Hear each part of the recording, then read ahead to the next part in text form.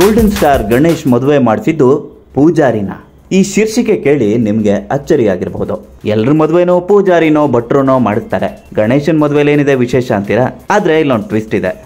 ಗಣೇಶ್ ಅವರ ಮದುವೆ ಮಾಡಿಸಿದ್ದು ದೇವರನ್ನ ಪೂಜೆ ಮಾಡೋ ಪೂಜಾರಿ ಅಲ್ಲ. ಕುಖ್ಯಾತ ಡಾನ್ ರವಿ ಪೂಜಾರಿ. ಇದನ್ನ ನಾವು ಹೇಳ್ತಿಲ್ಲ. ಕನ್ನಡದ ಹೆಸರಂತ ಟ್ಯಾಬ್ಲಾಯ್ಡ್ ಒಂದರಲ್ಲಿ ಈ ಬಗ್ಗೆ ವರದಿ ಪ್ರಕಟವಾಗಿದೆ.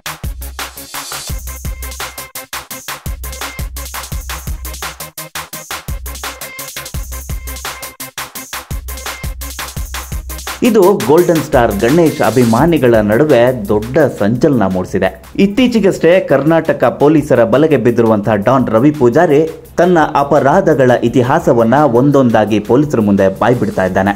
ತನ್ನ ಕ್ರೈಮ್ಗಳ ಕತೆ ಹೇಳ್ತಾನೆ, ಒಂದು ಇಂಟ್ರೆಸ್ಟಿಂಗ್ ಸಂಗತಿಯನ್ನು ಕರ್ನಾಟಕ ಪೊಲೀಸರ ಎದುರು ರವಿ ಪೂಜಾರಿ ಬಾಯ್ಬಿಟ್ಟಿದ್ದಾನಂತೆ.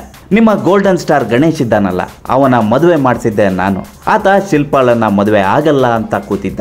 ನಾನು ಆತನ ಹಣೆಗೆ ಗನ್ನಿಟ್ಟು ಬೆದರಿಸಿ ಮದುವೆ ಮಾಡಿದೆ ಅನ್ನೋ ಸಂಗತಿಯನ್ನ ಹೇಳಿದ್ದಾನೆ ರವಿ ಪೂಜಾರಿ. ಈ ಬಗ್ಗೆ ಆ ಟಬಲೈಡ್ನಲ್ಲಿ ವಿಸ್ತೃತವಾದಂತಹ ವರದಿ ಪ್ರಕಟವಾಗಿದೆ. ಇದು ಸ್ಯಾಂಡ್ಲ್ವುಡ್ನಲ್ಲಿ ದೊಡ್ಡ ಸಂಚಲನವನ್ನೇ ಎಬ್ಬಿಸಿದೆ ಅಂದಹಾಗೆ ಗೋಲ್ಡನ್ ಸ್ಟಾರ್ ಗಣೇಶ್ ಶಿಲ್ಪಾರನ್ನ ಮದುವೆ ಆಗಿದ್ದು ಎರಡು ಸಾವಿರದ ಎಂಟನೇ ಇಸ್ವಿನಲ್ಲಿ. ಅಸಲಿಗೆ ಎರಡು ಸಾವಿರದ ಆರರ ಡಿಸೆಂಬರ್ನಲ್ಲಿ ಮುಂಗಾರು ಮಳೆ ಸಿನಿಮಾ ಬಿಡುಗಡೆ ಆಗಿತ್ತು. ಆ ಮುಂಗಾರು ಮಳೆ ಎರಡ್ ಸಾವಿರದ ಹದಿನೇಳನೇ ಇಸ್ವಿನಲ್ಲಿ ಕನ್ನಡ ಚಿತ್ರರಂಗದಲ್ಲಿ ಹಣದ ಹೊಳೆಯನ್ನೇ ಹರಿಸಿತ್ತು. ರಾತ್ರೋರಾತ್ರಿ ಗಣೇಶ್ ಗೋಲ್ಡನ್ ಸ್ಟಾರ್ ಆಗಿ ಹೋಗಿದ್ರು. ಆ ನಂತರ ಬಂದಂತಹ ಗಣೇಶ್ ನಟನೆಯ ಸತತ ನಾಲ್ಕು ಸಿನಿಮಾಗಳು ಕೂಡ ದೊಡ್ಡ ಯಶಸ್ಸು ಪಡೆದಿದ್ವು.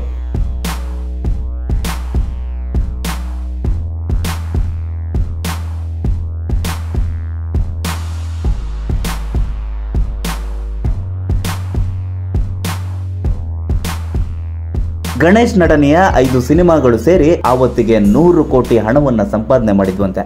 ಇದೇ ಕಾರಣಕ್ಕೆ ಇವರಿಗೆ ಚಿನ್ನದ ಹುಡುಗ ಅಂತ ಕರೆದಿದ್ದು.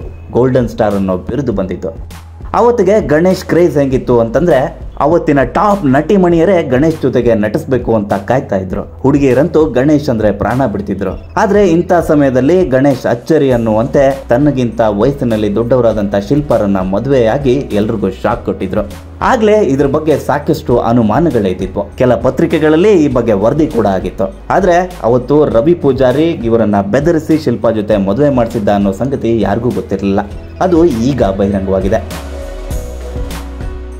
ಮುಂಗಾರು ಮಳೆ ಯಶಸ್ಸಿನ ಬಳಿಕ ಮುಂಗಾರು ಮಳೆ ಯಶಸ್ಸಿನ ಅಲೆಯಲ್ಲಿ ತೇಲ್ತಿರುವಾಗಲೇ ಗಣೇಶ್ಗೆ ಶಿಲ್ಪ ಪರಿಚಯರಾದ್ರಂತೆ ಆ ನಂತರ ಆ ಪರಿಚಯ ಸ್ನೇಹಕ್ಕೆ ತಿರುಗಿತು. ಶಿಲ್ಪ ಒತ್ತಾಯಪೂರ್ವಕವಾಗಿ ಗಣೇಶರನ್ನ ಮದುವೆ ಮಾಡಿಕೊಂಡ್ರು ಅಂತ ಈ ಪತ್ರಿಕೆಯಲ್ಲಿ ಬರೆಯಲಾಗಿದೆ. ಅದರಲ್ಲೂ ಡಾನ್ ಒಬ್ಬ ಮುಂದೆ ನಿಂತು ಒತ್ತಾಯಪೂರ್ವಕವಾಗಿ ಗಣೇಶರನ್ನ ಶಿಲ್ಪರಿಗೆ ಕಟ್ಟಿದ ಅಂತ ಬರೆಯಲಾಗಿದೆ. ಇದು ಎಷ್ಟರ ಮಟ್ಟಿಗೆ ನಿಜಾನೋ ಸುಳ್ಳೋ ಗೊತ್ತಿಲ್ಲ.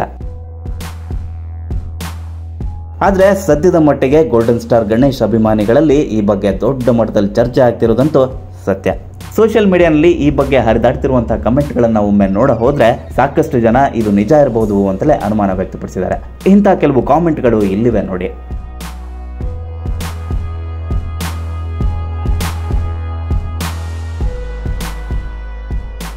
ಅವತ್ತಿಗೆ ನಿಜವಾಗ್ಲೂ ಗಣೇಶ್ ಮದುವೆ ಆದಾಗ ನನಗೆ ಅನುಮಾನ ಬಂದಿತ್ತು. ಆ ಅನುಮಾನಕ್ಕೆ ಈಗ ಉತ್ತರ ಗೊತ್ತಿದೆ ಅಂತ ಸಾಕಷ್ಟು ಜನ ಗಣೇಶ್ ಅಭಿಮಾನಿಗಳೇ ಬಿಡ್ಕೊಂಡಿದ್ದಾರೆ ಇನ್ ಕೆಲವರು ಇದು ಫೇಕ್ ನ್ಯೂಸ್ ಅಂತ ಹೇಳ್ತಿದ್ದಾರೆ.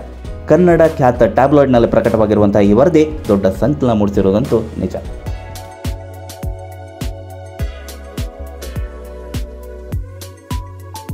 ಇಂಥದೇ ಮತ್ತಷ್ಟು ರೋಚಕ ಮಾಹಿತಿಗಳಿಗಾಗಿ ನಮ್ಮ ಸಿನಿರಮಾ ಪ್ರೊಡಕ್ಷನ್ಸ್ ಚಾನಲ್ ಸಬ್ಸ್ಕ್ರೈಬ್ ಮಾಡಿ ಹಾಗೆಯೇ ಬೆಲ್ಲೈಕನ್ ಒತ್ತಿ ನಮ್ಮ ಹೊಸ ವಿಡಿಯೋ ಬಂದಾಗ ನೋಟಿಫಿಕೇಶನ್ ಪಡೆಯಿರಿ.